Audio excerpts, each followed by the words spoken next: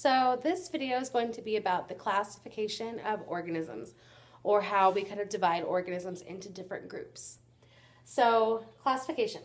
Uh, the first word to know is taxonomy. Taxonomy. And that is the study of identifying, classifying, and naming organisms. So there are scientists who are named taxonomists, and this is their job. Um, they identify new organisms. Uh, there are new ones being found all the time. They classify them so they kind of figure out um, what group to put them in, what they're similar to, and then they name them. So they get to name the organisms that they uh, discovered. So many different ways of classifying have been tried. Um, they used to divide things into plants or animals. And then we discovered with microscopes this whole other world of stuff that wasn't a plant or an animal. So that didn't work. And then they used to classify based on what organisms looked like.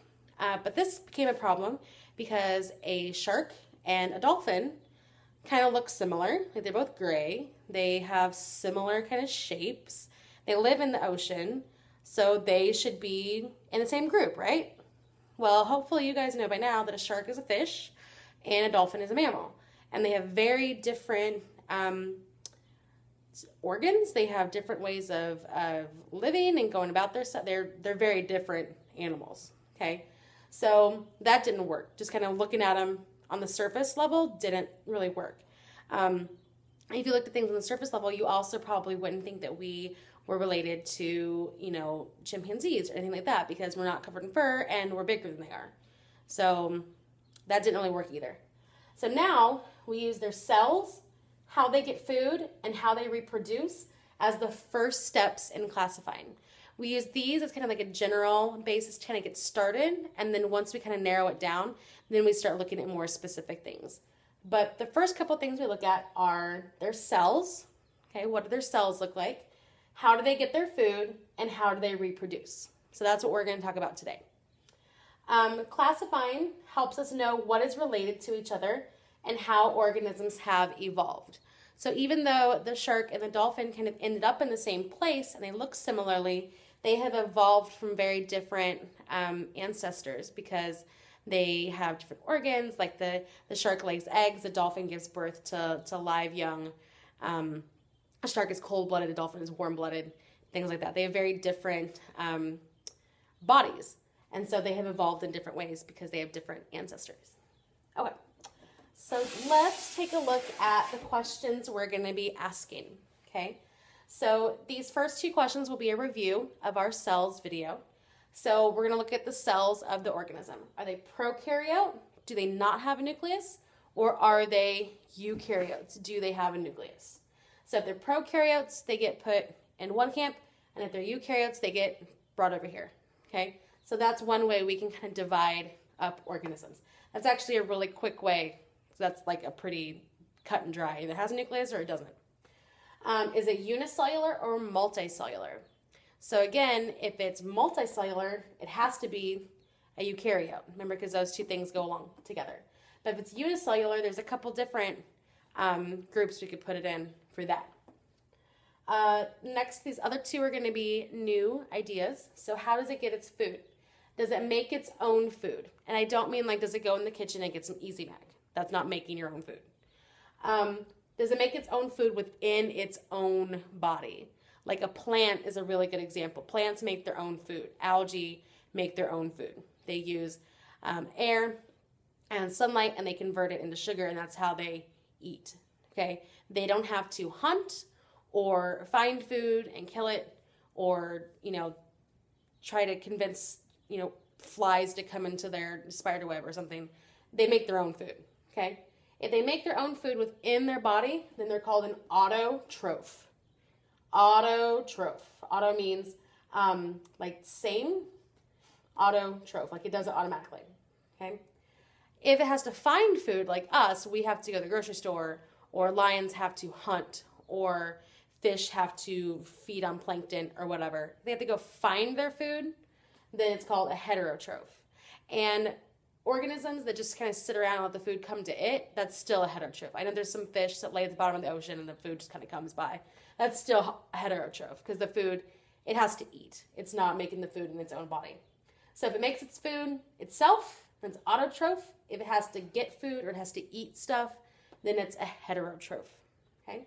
And then lastly, and I'm gonna warn you, we are not gonna go into details. I don't want giggles. It's just a word, okay?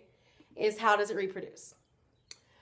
If it only needs one organism to reproduce, then that is called asexual. Remember that a on the front of a word means not or the opposite of. So it's asexual. So there are bacteria.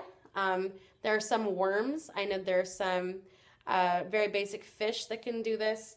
Um, asexual reproduction is basically you have an organism, it splits in half, and now you have two organisms. So, like I know there are some worms that the worm itself kind of splits in half, and now you have two worms, and that's asexual. Like it doesn't need any help; it just kind of does it by itself. That's asexual reproduction. If you need two organisms, you need a male and a female of an organism, then that is called sexual reproduction, and that's as far as we're going to go with that. So you need two sexual, only one asexual. Enough of that. Okay. So the first kind of group that we put them into are called domains. Um, after we get them into domains, we kind of narrow it down and narrow it down and narrow it down and get more and more and more specific in our groups, and you'll see that in a future video. But the first kind of grouping that we do is called a domain. So it's the first level of classification. Organisms that are similar get put in the same domain. So if they have stuff in common, they're going to go in the same group or the same domain. Um, this is actually a really kind of new idea. Uh, I know the green textbooks that we have, uh, it doesn't mention domains at all because domains were introduced after your books were printed. So domains were introduced in the early 2000s. Uh, before that, the highest level or the first level classification was called the kingdom, and we'll learn about that in a future video. But domains are now the top level. They added a level to the top, top of it. So domains are new, uh, about 10 years or so. There are three domains that organisms can get kind of filed away and kind of grouped into. The first is archaea, archaea, okay, yeah, bacteria. That one should be familiar, bacteria, and eukarya and you should probably be able to guess what goes in this one. So archaea, bacteria, and eukarya. And so we're going to talk about each of those domains and kind of what um, their characteristics are. So the first one is archaea, and this one is also a really new kind of grouping. It's probably the newest group of organisms that we've uh, decided deserve their own group. Um, archaea are all prokaryotes, so none of them have a nucleus. Because of that, they don't have a nucleus. They are always unicellular. So remember, these two things always go together. It's prokaryote, it has to be unicellular. Okay, archaeas can be autotrophs or heterotrophs. Some uh, archaea members make their own food, and some have to go find it. They can be asexual or sexual reproduction, kind of depends on the individual type of organism. Um, the main thing to keep in mind with archaea, archaea actually comes from a Greek word that means ancient. So these are really, really, really old creatures. They have been around for really, really, really long time. Um, this is kind of the stuff that was we think might have been some of the first life on Earth. So it's really basic. There's not a lot going on. They're prokaryotes, they're unicellular, they're super teeny tiny. But the main thing that kind of sets them apart is that they can live almost anywhere. They live in volcanoes, they live in really super hot, um, you know, where there's a crack under the ocean and the magma comes up, those vents. They can live there. They can live in environments that are incredibly acidic. They have a lot of acid in the environment, and they can live in almost all of it. So these things are like tough as nails. Can't get rid of them.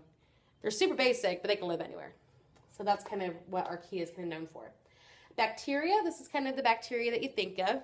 Um, so bacteria that's good that helps make yogurt um, do its thing, or E. coli that makes you sick, or like sinus infection bacteria, bacteria. Okay, they're prokaryotes. They have no nucleus. They're all unicellular. They can be autotroph or heterotroph. So there are some uh, bacteria that do have to find food, but others will make their food. Just kind of depends on the individual. and then they can be asexual or sexual reproduction. So these two have a lot of really similar um, characteristics, with the environment they live in being the main kind of focus of archaea. Okay, now we come down to eukarya, and the EU should tip you off that this is the domain of eukaryotes, and this is a huge um, domain. So they're eukaryotes, which means they have a nucleus. They can be unicellular or multicellular. Remember that eukaryotes can be either, but if it's multicellular, it has to be eukaryote. If it's unicellular, it can be any of these.